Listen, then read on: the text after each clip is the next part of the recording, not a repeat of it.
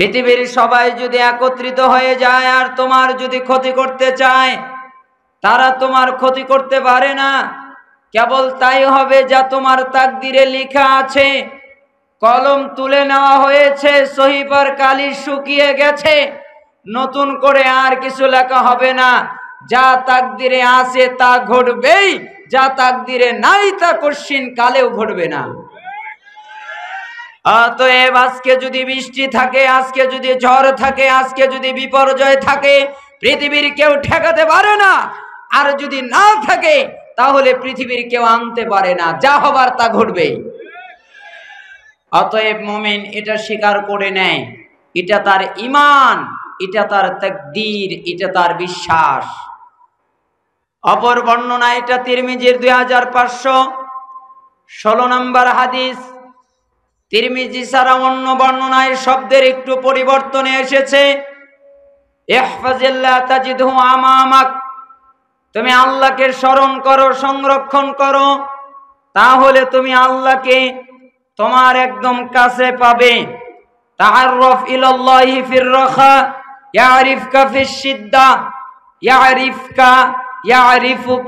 দুটাই পড়া যায়। অতএব তুমি যখন সুস্থ, ভালো অবস্থায় থাকো। তখন তুমি আল্লাহ তালাকে স্মরণ করো। তাহলে যখন তুমি বিপদে পড়ে যাবে, তখন আল্লাহ তোমাকে স্মরণ করবে।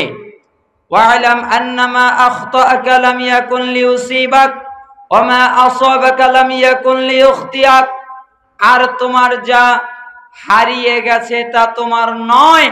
আর তুমি যা পেয়েছ তা তোমার থেকে যাবার নয়।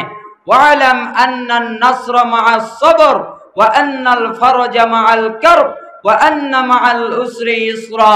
আর শোনো, তুমি যখন বিপদে পড়ে যাও, তখন তুমি ধৈর্য ধারণ করো, কারণ ধৈর্যের সাথে আছে সাহায্য। ধৈর্যের সাথে সাহায্য আছে, শুধু বিপদ নাই, বিপদ থেকে বাঁচার পথ আছে। তুমি ওই বাঁচার পথ খোঁজো। আর তুমি যে বিপদে আছো না, এই বিপদের পরে অবশ্যই তোমার জন্য সুখ, স্বস্তি, শান্তি রয়েছে। তো এই হাদিস দ্বারা আমি বোঝাতে চাইলাম, কোনো অবস্থা, কোনো পরিস্থিতি মুমিনদের জন্য অকল্যাণকর নয়। প্রত্যেক পরিস্থিতি, প্রত্যেক অবস্থা মুমিনদের জন্য কল্যাণকরই হয়ে থাকে। তা যেরকমই হোক যাই হোক, আজকে আমি আপনাদের সামনে যে বিষয়ে আলোচনা করব, আলোচনার বিষয় তো অনেক লম্বা, সময়ও খুব স্বল্প, এরপরে ঘুমন্ত সময়। এখন কি সময়? ঘুমন্ত জাতি, ঘুমন্ত সময়ের অবস্থায় আমার আলোচনার সময়। তো যাই হোক, দেখা যাক, আল্লাহ তালা আপনাদের কতটুকু নেওয়ার তৌফিক দান করেন। এবং আমাকে কতটুকু বলার তৌফিক দান করেন। প্রথমে আমি আল্লাহ তালার কাছে দোয়া করছি, হে আল্লাহ, আপনি আমার জবান দিয়ে আমার মাধ্যমে হক এবং সঠিকটা ছাড়া ভ্রান্ত বের করিয়েন না। এবং যারা এখানে উপস্থিত, তাদের প্রত্যেককে সুন্দরভাবে আমার কথাগুলো বুঝার তৌফিক দান করেন। তারা যেন সুন্দরভাবে এই পয়েন্টটা বুঝতে পারে যে বিষয় নিয়ে আমার আলোচনা। আলোচনার বিষয় হচ্ছে কিয়ামতের পূর্বের ফেতনা। আলোচনার বিষয় কি? কিয়ামতের পূর্বের ফেতনা। এখন তো বর্তমান সময় অবস্থাটা এত মারাত্মক করুণ অবস্থা যে কেয়ামত নিয়ে যুবক ভাইদের ভিতরে উৎসাহটা বেশি। তারা চিন্তা করে কবে আসবে মাহাদি?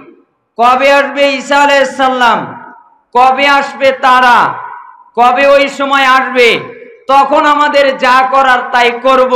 যতক্ষণ পর্যন্ত না আসবে, ততক্ষণ পর্যন্ত আর কিছু করার দরকার নেই। ঠিক তাই না? ওই যে বলে, ইমাম মাহাদি যখন আসবে, তখন ঠেকায়ও। ঈসা আলাইসাল্লাম যখন আসবে, তখন দেখা যাবে।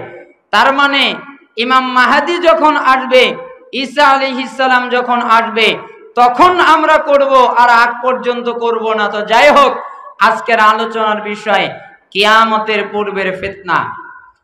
কেয়ামতের পূর্বে পৃথিবীতে অনেক ফেতনা, ফাসাদ দেখা দেবে। রসুল্লাহ সাল্লাহ আলহি ওয়াসাল্লাম এ ব্যাপারে উম্মতকে সতর্ক করে গেছেন। যার দলিল সেই মুসলিম, সাত হাজার চারশো পঁয়তাল্লিশ নম্বরে পাওয়া যাবে। আবু দাউদ চার হাজার দুইশো বিয়াল্লিশ নম্বরে পাওয়া যাবে। মুসনাদে আহমদ তেইশ হাজার তিনশো সাতান্ন নম্বরে পাওয়া যাবে। মিসকাত পাঁচ হাজার তিনশো উনআশিতে পাওয়া যাবে।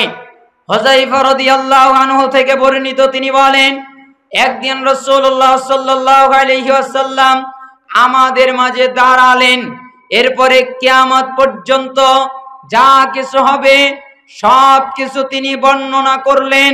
তারপর যে স্মরণ রাখার, সে ওই কথাগুলোকে স্মরণ রাখল। এরপরে যে ভুলে যাওয়ার, সে ওই কথাগুলোকে ভুলে গেল। আমার সঙ্গীগণ জানে যে তার ভিতরে কতক এমন বিষয় আছে যা আমি ভুলে গেছি, কিন্তু সেটা সংগঠিত হতে দেখে তা আবার আমার মনে পড়ে যায়।